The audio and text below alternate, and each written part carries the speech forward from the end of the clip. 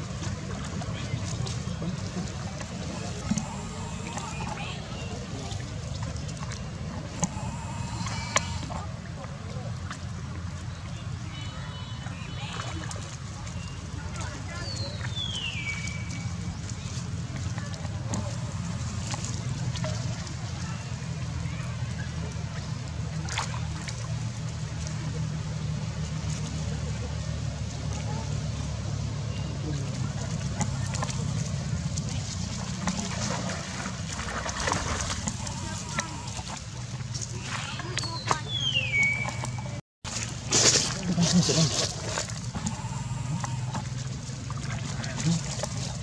cho kênh Ghiền Mì Gõ Để không bỏ lỡ những